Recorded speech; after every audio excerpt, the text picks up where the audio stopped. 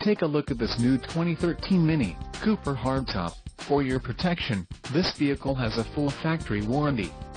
This vehicle gets an estimated 29 miles per gallon in the city, and an estimated 37 on the highway.